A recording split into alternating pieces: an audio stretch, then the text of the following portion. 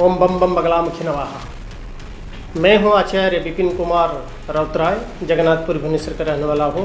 और मैं आज चार बजे इसी हवन कुंड में प्रकट हुआ था। एक चौंकने वाले भविष्यवाणी किया है कि अतिशीघ्र करगिल जैसा युद्ध भारत पाकिस्तान के सा, साथ अभी होने वाला है।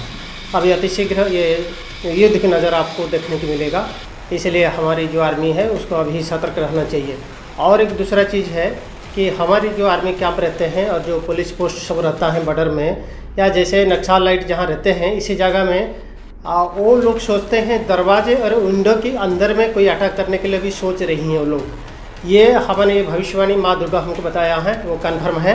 इसीलिए हमारे जितना डिफेंस आर्मी पुलिस है जहाँ भी नक्सल एरिया है जहाँ भी उग्रपंथी रहते हैं और विशेष से भारत पाकिस्तान के बॉर्डर में जम्मू कश्मीर में और आप लोग अपनी दरवाज़ा और विंडो इसी को थोड़ा संभाल के रखिए, खुला करना नहीं चाहिए, क्योंकि उसी खुले समय, खुले के समय में उसी खुले स्थान पर वो लोग रॉकेट लॉन्चर, मिसाइल या इस तरह का कुछ अटैक करने के लिए भी सोच रही हैं। ये भविष्यवाणी दुर्गा से मिला है, मैसेज हन, हंड्रेड परसेंट कन्फर्म है। अति शीघ्र आपको ये चीज़ आपको दिखाई देगा, ये भविष्यवाणी का कमाल आपको दिखाई देगा, इसलिए मैं सावधान रहने के लिए आप लोग को निवेदन करता हूँ। जय माँ बगला।